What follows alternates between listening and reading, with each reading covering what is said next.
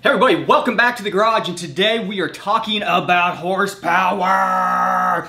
Urgh, making all that horsepower. Yeah, well, we've already made the horsepower technically. what we're going to do is we're going to set up a way that you can uh, basically see your horsepower, much like you would on a dyno, through the HP Tuner scanner. Now, let me preface this. This is not always the most accurate way. In fact, it is not the most accurate way. A dyno is the most accurate way of reading horsepower on our vehicles. But the late uh, generation Gen 4s and all the Gen 5s that have the torque-based system, the virtual torque, all that stuff, they have a torque parameter that can be pretty accurate in there. It is literally just called engine torque. We need to be logging that along with RPM. Uh, I've got a log pulled up that's got both of them in there. We will throw a horsepower uh, math, custom math parameter in here so we can see what our horsepower is based on what the, the ECU predicts the engine torque is. Now, that being said, that engine torque is very dependent on all your parameters being kind of dialed in, all of your fuel maps, stuff like that. Everything's got to be in tip-top condition. It has to be pretty darn accurate to get an accurate torque out because it, what it is is it's a lot of data in being jammed through all kinds of math, torque out. So if any of this data in is incorrect, it will skew the output. But if you've got this stuff kind of dialed in, people have found that the output on the torque is pretty spot on or pretty close. You know, what we would consider really good. And as we've talked about on some of the other ones, this might be a way of tuning your timing. Instead of just doing timing versus knock, you could set this up, watch your horsepower and torque numbers, and make adjustments to your timing advance and see, oh, hey, I crossed the threshold. I'm no longer making uh, more power in this, so there's no reason for me to advance the timing beyond this. Technically, that should work for this. I've not done it myself. That is going to be uh, something that I do here on the Super Auto as I get the fueling dialed in on it and I start to do the timing for the twin charge setup. I will use this setup. I will document it, give you guys an idea of whether, whether or not it works. But let's jump in here. Oh, and, and we're going to be talking about a formula. This formula is a standard formula and it's like RPM times torque uh, divided by 5252, which is what they call the crossover. If you look on a uh, dyno graph, all of them should cross over in the same position based on this formula. This formula is set in stone.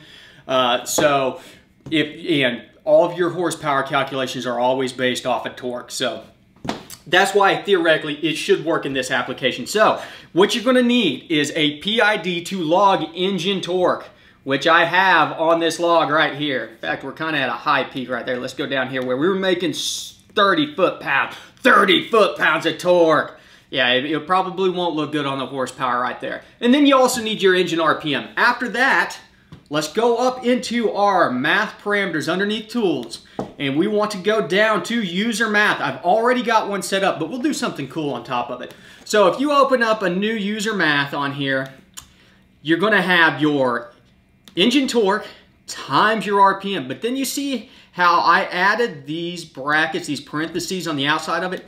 This is to make sure that that math is done first because if you don't have those in there, it can skew your math off. Technically, I'm not sure how smart HP tuners are in doing it where it has to multiply before it divides, but if we add these uh, parentheses around this multiplication section, that will save us some headache down the road.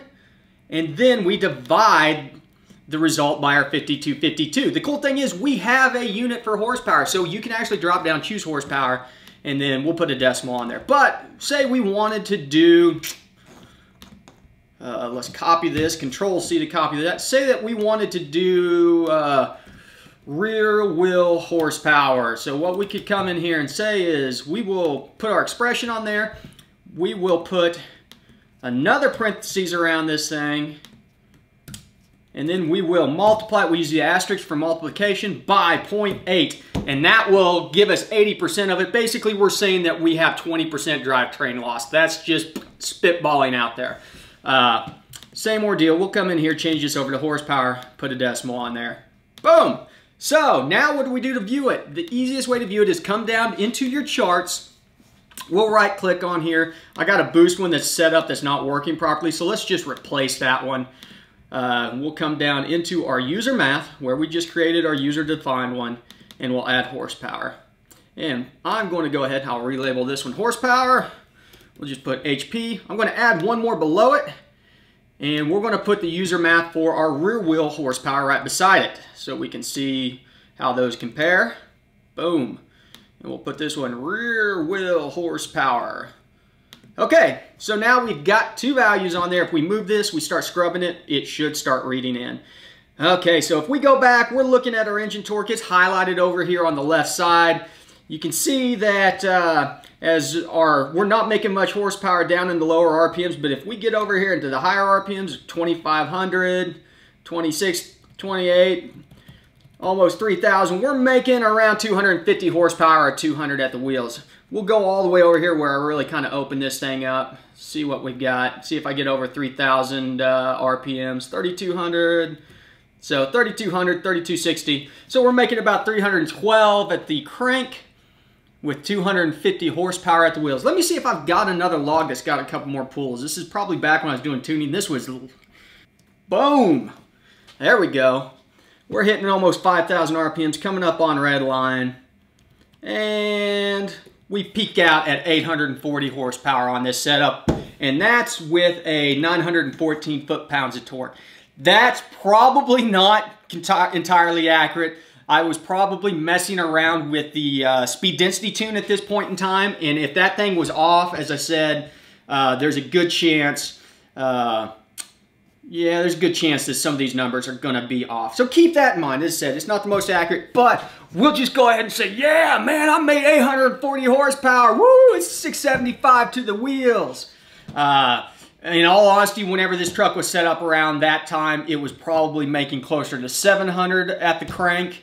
Uh, just given how much boost that we were running. You can do a sanity check on that if you're on a turbocharged engine because you should know that if you if you run atmospheric on your boost, if you're running 14.7 psi, you should be doubling your horsepower. So on this truck, which is what the 5.3 makes something about 380. So if you're doubling that, you should be at 750 horsepower which this is not. This thing was probably only running 13 horse or 13 psi at that point in time. So, but that's neither here nor there. Something cool, as I said, you can use it whenever you're doing your timing adjustments to see it. You you technically don't need the horsepower side of it. You could just use the engine torque calculations off the timing adjustments to see if you're starting to lose power theoretically that should work. We'll find out in another video down, down the road some other point in time. But this is just something cool to kind of throw out there. It's, it's a good way to get used to building some custom math. We touched on some of that in the earlier scanner video that came out last week about how we use custom maths,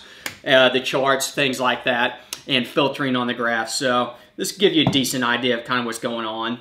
So, hey, uh, you know, just some fun stuff. What we got coming up this week, we've got check valves to install into Super Auto, get this thing back on the road. Then we're going to start Super Auto tuning, you know, uh, we're going to, we'll start with speed density tuning, then we'll move into MAF tuning uh, because this thing is actually probably going to have to have some serious MAF tuning uh, because of, well, I don't know. It, technically, it shouldn't.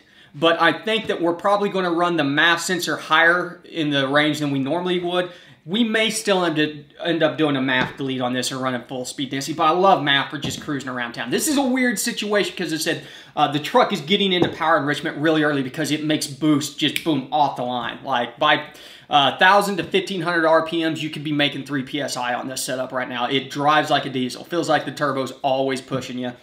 Uh, so there will be super auto tuning. Uh, I got to do some more torque management videos. Uh, so other than that, thank you to all the new subscribers. If you haven't subscribed already, hit the button in the corner. We've hit 1,900. We will break 2,000 before the 4th of July. No doubt in my mind.